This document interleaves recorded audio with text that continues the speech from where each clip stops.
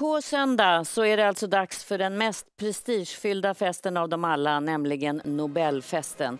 Det är glitter och det är besök av kungligheter, besök från hela världen. Och det här är ju en fest som sänds och många följer världen över. Ett av priserna som det ofta är mycket snack kring det är priset i litteratur. Och det priset ut, eller bestäms av, utses av eh, de Aderton, nämligen Svenska Akademin. Så här ser de ut. Men Dagens Nyheter har nu gått ut med ett eh, mycket, vad ska man säga, ett upprop såg det ut som med 18 kvinnor som vittnar. Eh, det är väldigt starka vittnesmål mot en person som har kallats för kulturprofilen som har djup eh, förankring i Svenska Akademin. Och då har den här frågan uppstått, kan man sitta kvar eller kan man få sparken från akademin? Eh, vi ska, jag ska presentera mina gäster. Det är Björn Wiman, kulturchef på Dagens Nyheter. Jens Liljestrand som är biträdande kulturchef på Expressen. Och Claes Sandberg, professor emeritus i civilrätt. Du gick ut i en artikel och sa ja, man kan få sparken från akademin. För det är, ska vi säga, man väljs ju på livstid.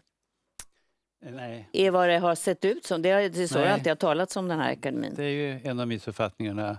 Alltså jag tycker det viktiga är ju att man kan kräva ut ansvar för de missförhållanden som ju Dagens Nyheter har eh, avslöjat. Eh, och då är frågan, hur gör man då? Mm. Och då är det ju så att alla andra institutioner än akademin har en instans ovanför sig som kräver ut ansvar. Mm. Till exempel en bolagsstämma, föreningsstämma eller vad det gäller en stiftelse så är det Länsstyrelsen. Men akademin har inte det. Det vill säga ledamöterna som har utsett sig själva, de ska utkräva ansvar av sig själva.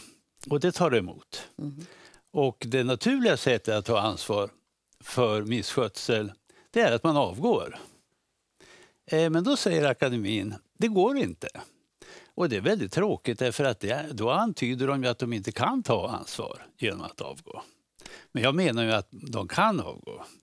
Det finns inget hinder i stadgarna för det. Och, eh, det är ju också så att med ett modernt synsätt så finns det en rätt att slippa vara med i en förening. Mm.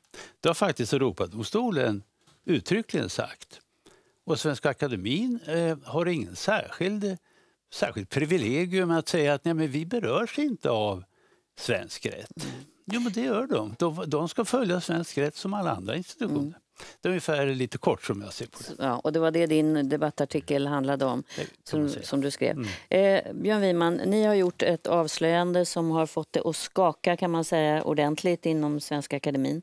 Eh, de här 18 kvinnorna, några av dem har gått ut med sina ansikten, vilket är modigt. Det är få som gör det. Eh, kan du säga hur ni vad, vad du tror kommer hända nu? För det här är ju, det har ju redan börjat hända saker.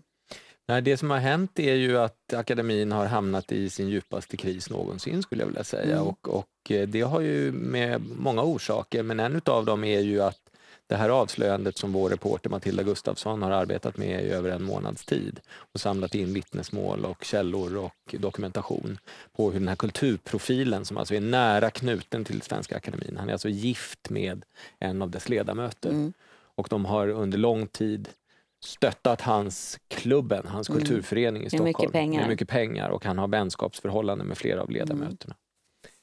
Det som har hänt är att det här avslöjandet sammanfaller med metoo-rörelsen som är en genomgripande samhällsförändring och som likt en, likt en stor våg nu sveper över, över stora delar av, av västvärlden. Och då hamnar Svenska Akademin i det här. Och det är det som gör att deras kris nu, den är monumental. Det, det förtroendet för Svenska Akademin nu bland, bland breda kretsar av, av befolkningen är, är mycket nära nollpunkten. För de berättelser som de här kvinnorna eh, berättar och går ut med, det handlar ju om sexuella trakasserier, hot, om där man inte kan... Man kommer bli... Vad ska man säga? Ens karriär mm. som man tror sig precis ha börjat, de här unga kvinnorna, är förstörd. I vissa fall också våldtäkter. Eh, rena våldtäkter som då ska ha ägt rum i lägenheter i Paris och i Stockholm som mm. ägs av Svenska. Akademin. Mm. Så att det är klart att det här går rakt in i institutionens hjärta och det har, har man ju också även sett hur snabbt den ständiga sekreteraren Sara Danius och flera andra ledamöter gick ut och tog avstånd mm. och agerade nu, apropå det som Claes skrev, faktiskt agerade på ett sätt som saknar motstycke i den här mm. förmoderna institutionens historia. Man gick ut och sa att man vill ha genomlysning, man ska gå till botten mm. med problemet, man har anlitat en advokatbyrå som ska kan, utreda ledamöterna och så vidare. Vi kan lyssna på vad eh, den ständiga sekreteraren Sara Danius sa för några dagar sedan eh, när hon mötte pressen. Vi har redan kunnat konstatera att vi brutit mot våra egna jävsregler och att dessa måste skärpas. Svenska Akademin vill ha så stor transparens som möjligt i denna fråga. Mm. Vad säger du, eh, Jens Liljestrand? Det här, är det förtroendet rubbat? Jag vet att du tidigare sagt att nej, men det återgår nog snart till det gamla vanliga. Det tror jag. Eh, det som Svenska Akademin gör här med Sara Danius, det är ju en det är ju väldigt sorgligt att se henne prata om det här. Samtidigt så är det ju en manöver de gör när de säger att de ledamöterna själva drabbats. Ledamöters döttrar och hustrur har mm. också drabbats av den här så kallade Och Det var ju överraskande när hon sa Det var överraskande, det var chockerande att höra. Mm. Men när man gör det då blir man ju också själv en del då flyttas man ju från de anklagades bänk så att säga till att bli ännu ett vittnesmål. Du menar att det var en manöver? Nej, att... det, jag menar både och. Alltså, det, det är lättare att få sympati för Svenska Akademin när den typen av uppgifter som jag tror på mm. kommer fram. Mm. Så på det sättet så tror jag att de kan, så att säga, om man ska prata om akademins förtroendet för akademin eller akademin som varumärke så tror jag att det, den typen av tillkännagivande eh, hjälper dem. Men tror du att efter stormen har blåst, blåst över mm. Eh, kulturmannen eh, kommer ju, om han inte redan har polisanmälts, Fem, fem polisanmälningar mm. finns i, i, i, nu Då kommer fokus att flyttas bort, tror du det, från jag Svenska tror, Akademin? Jag tror att människor på något sätt behöver Svenska Akademin. Jag tror att man behöver den här, för, som, som Björn säger, den här förmoderna institutionen har just det syftet att den reglerar sig själv, den är oberoende, den kan inte påverkas av kommersiell marknad, kommers, demokrati, förvaltning, den är en helt oberoende och autonom institution. Ungefär som kungahuset. Och Men ska man inte kunna avkräva ansvar? Nu hörde vi ju att det kan man, bör man och ska man. Ja, i så fall så får ju de som kan juridik bättre än jag kolla på det. Men ta, Svenska Akademin kan egentligen bara jämföras, jämföras med kungahuset på det sättet. Kungahuset har också varit i blåsväder, mm. kungahuset har också varit med om skandaler. Men folk har ändå ett starkt förtroende för monarkin. Varför? Men tror ni verkligen att förtroendet finns kvar för, eh, efter de här jag, tror att det, jag tycker eh, den parallell som Jens gör här med kungahuset är intressant. Därför att de är precis som du säger, de är institutioner som verkar så att säga lite grann utanför det moderna samhällets eh, normsystem och, och regelsystem. Mm. Och det var ju för några år sedan också en diskussion kring kungen. Mm. Skillnaden nu skulle jag säga det är att den diskussionen med kungen och hans, de här kaffeflickorna om ni minns, som han anklagades för att ha haft samröre med, den sammanföll inte med en stor genomgripande samhällsrörelse som metoo. Mm. Det fanns inte samma klangbotten Nej. för det då. Nu har det här, medvetenheten om de här strukturerna, det har väckts i hela samhället. Mm. Och, och eh, jag undrar om inte akademin måste göra några, både, både offra några, någon eller några av sina medlemmar, det vill säga utesluta någon eller några medlemmar för första gången sedan 1794. Mm. Och att man dessutom till det också måste göra ett antal mer strukturella genomgripande förändringar. Mm. Till exempel det som du var inne på Claes, att, att låta de som vill sluta i mm. akademin få sluta. Mm. De har ju också börjat med, med en, en förändring som de har eh, eh, talat om, det är att de ska börja ha, tillämpa samma regler som Vetenskapsrådet vad gäller fördelning av medel. Mm. Det är utmärkt. till exempel. Men, men det låter ju nästan som en myt som har levt kvar eftersom du säger att det är inte alls så att man inte kan få sparken ifrån akademin. Att det, är en till, det finns en till missuppfattning här som har precis med det att göra som ni talar om nu. Och det är ju det att Eh, Kerstin Ekman, hon är ju den som är mest på tapeten. Hon kan gå till domstol och be att domstol förklarar mm. att hon är inte längre ledamot av Svenska mm. Akademin. Och för att nu är det den absurda situationen att hon är ansvarig för vad akademin gör. Hur, varför det? Jo, hon är ju ledamot. Och det är ju absurt. Men om man vänder på det, hon vill inte vara kvar, det har hon Nej. tydligt eh, ja. markerat. Men eh, det finns ju de som håller sig fast där och vill vara kvar och kanske inte Ja. Eh, och som kanske bär ett ansvar, som kanske inte vill gå frivilligt. Vad mm. händer då? Ja, då, då finns ju den, som ni har varit inne på, den eh, möjligheten att utesluta en medlem som ledamot som har gjort någonting som står i strid med heder och ära. Det är ingen som vet riktigt vad det är. Nej. Men det är faktiskt samma sak där. Om akademin nu utesluter en ledamot och det är möjligen är den här kvinnan aktuell som du nämnde Björn, alltså ledamoten som då är hustru till den kallade, så kallade kulturprofilen. Hon kan då gå till domstol och få eh, eh fastställt att, hon, att det var fel att utesluta henne. Mm. Nu är det ju, eh, om det, det har också, och det har ni också visat här i er undersökande journalistik, så är det också läckor. Eh, det är tre, eh, framförallt tre Nobelpris som ska ha läckt ut, har flera vittnat om. Eh, och det här är ju någonting annat. Det är också något som Peter Englund som tidigare var ständig sekreterare gått ut och varit väldigt upprörd över eh, och tagit i ordentligt. Betydligt mer upprörd tycker jag han var över det än han gav uttryck för när det gällde sexuella övergrepp och till och med våldtäkter. Hur reagerar ni på det? Ja, att han säger den jäveln, Mm. säger han om den här så kallade kulturprofilen nu. Alltså nu är det dags att, att ta i med kraftuttryck och storsläggan för att han då ska ha läckt uppgifter. Men de här andra sakerna var tydligen inte lika mycket värda att reagera på. Sen som den här läckan, alltså det är ju så att är man gift med en akademiledamot så vet man nog i allmänhet vem som får Nobelpriset. Därför att akademiledamoten lägger ganska mycket tid. Hela sommaren innan, innan Nobelpriset Så lägger läser man man på. den lilla jag listan. läser, det är ganska svårt att dölja för en nära anhörig vad man läser hela sommaren. Så att det här att makar och makor vet om Nobelpriset, det är inte så konstigt. Det konstiga är att den här maken då har läckt.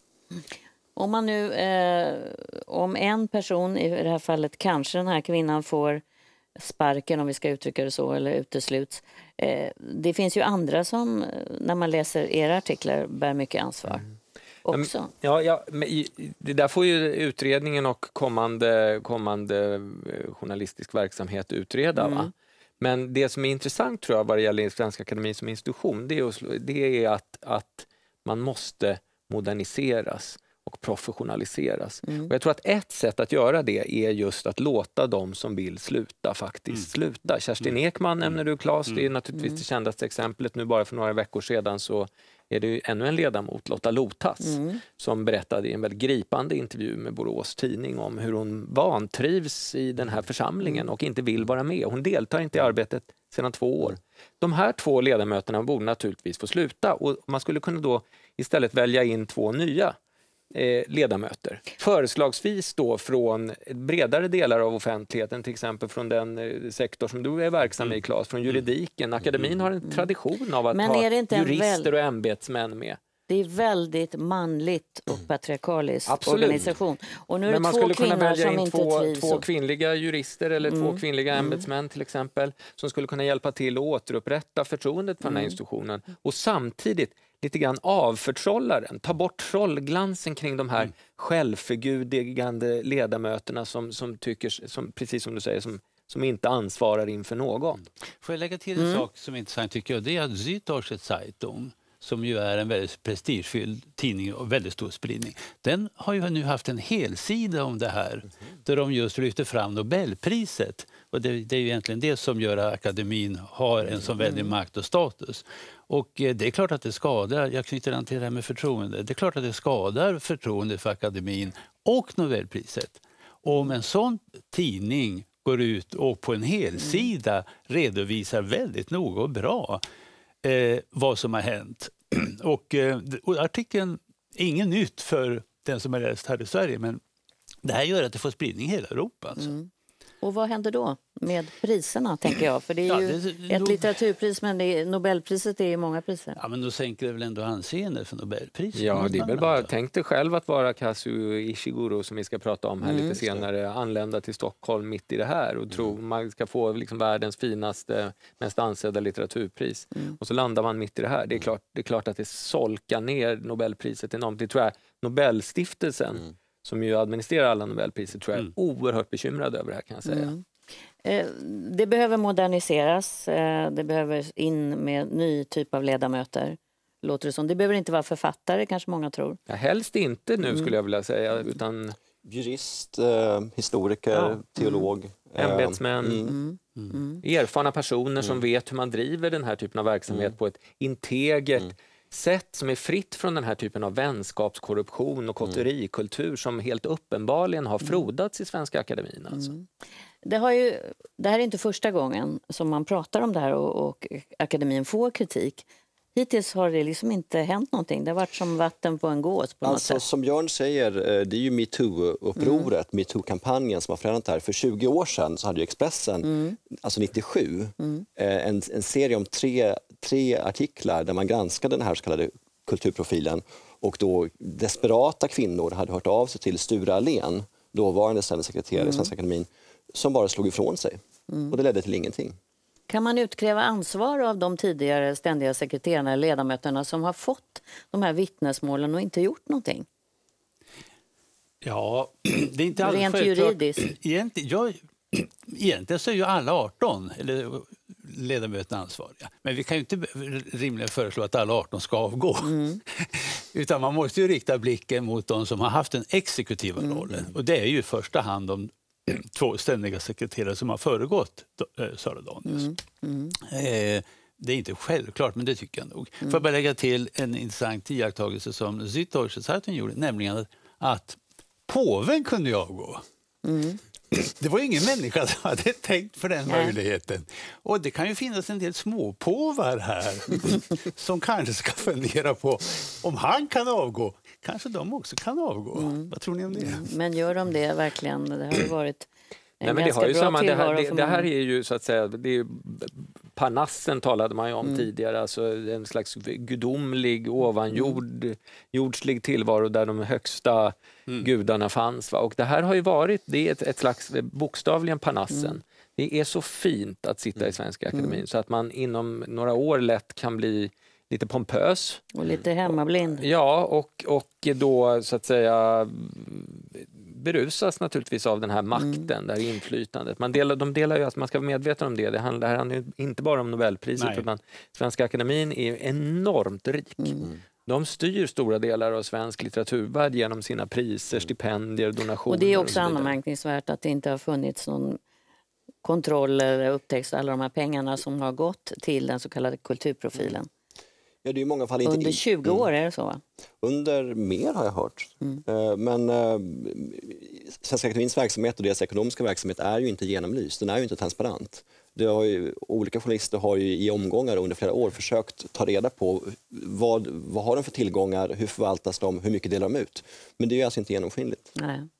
Ja, eh, spännande att se. Har ni nya avslöjanden på gång? Det kan man inte utesluta. Det kan man inte utesluta. Expressen kanske också jobbar för fullt Mm. på den här fronten. Tack allihopa för att ni var med. Vi ska prata mer